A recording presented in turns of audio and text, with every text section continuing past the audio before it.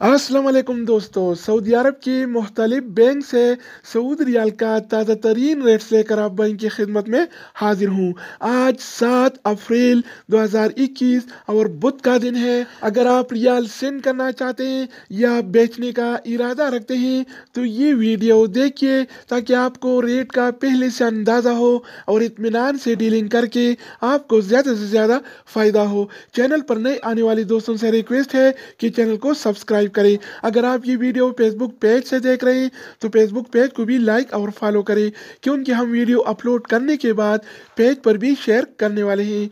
तो आइए वीडियो का आगाज़ करते हैं। तो आज हम शुरुआत अलराजी बैंक से करेंगे। तो अलराजी बैंक पाकिस्तान के लिए एक रियल का रेट देता है चालीस रुपये सत्तावन पैसे का। इंडिया के लिए उन्नीस रुपये चौबीस पैसे। बांग्लादेश के लिए बाईस टक्का इकतालीस पैसे। और नेपाल के लिए रेट देता है तीस रुपये छब्बीस पैसे का अगर बात हो जाए वेस्टर्न यूनियन का तो वेस्टर्न यूनियन पाकिस्तान के लिए एक रियल का रेट देता है चालीस रुपये तिरयालीस पैसे का, इंडिया के लिए उन्नीस रुपये चौबीस पैसे, बांग्लादेश के लिए बाईस टका इकतालीस पैसे और नेपाल के लिए रेट देता है इकतीस रुपये छः पैसे का। इसके अलावा हम बात करने वाले हैं फौरी बैंक के बारे में। तो फौरी बैंक पाकिस्तान के लिए एक रियल का रेट देता है चालीस रुपये बावन पैसे का। इंडिया के लिए उन्नीस रुपये अट्ठाईस पैसे।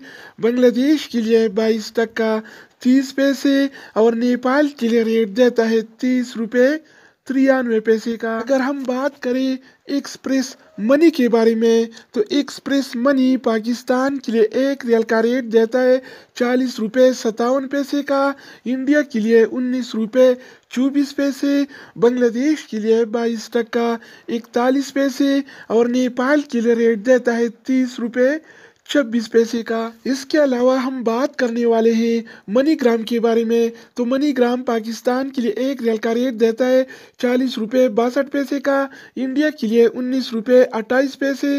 बांग्लादेश के लिए बाईस टका इकतालीस पैसे। और नेपाल के लिए रेट देता है इकतीस रुपये चौदह पैसे तो दोस्तों इसके अलावा हम बात करने वाले हैं इंजाज बैंक के बारे में कि ये क्या रेट दे रहा है। तो इंजाज बैंक पाकिस्तान के लिए एक रियल का रेट देता है चालीस रुपये सैंतीस पैसे का।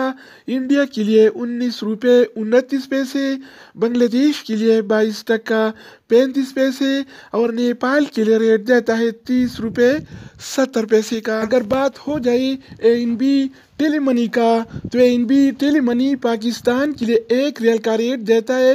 चालीस रुपये छत्तीस पैसे का, इंडिया के लिए उन्नीस रुपये नौ पैसे, बांग्लादेश के लिए बाईस टक्का तीस पैसे और नेपाल के लिए रेट देता है तीस रुपये सत्तर पैसे का। अगर बात हो जाए इन सी बी क्विक पे का तो इन सी बी क्विक पे पाकिस्तान के लिए एक रियल का रेट देता है चालीस रुपये बीस पैसे का, इंडिया के लिए उन्नीस रुपये सत्ताईस पैसे, बांग्लादेश के लिए बाईस टक्का बत्तीस पैसे और नेपाल के लिए रेट देता है तीस रुपये साठ पैसे इसके अलावा हम बात करने वाले हैं सऊदी इरसाल के बारे में। तो सऊदी इरसाल पाकिस्तान के लिए एक रियल का रेट देता है चालीस रुपये बत्तीस पैसे का।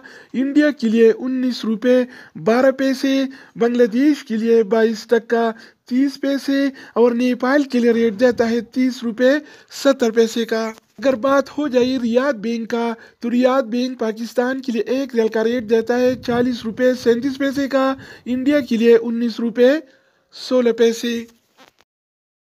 तो दोस्तों, इसके अलावा हम बात करने वाले हैं इस टीसी पे के बारे में कि ये क्या रेट दे रहा है।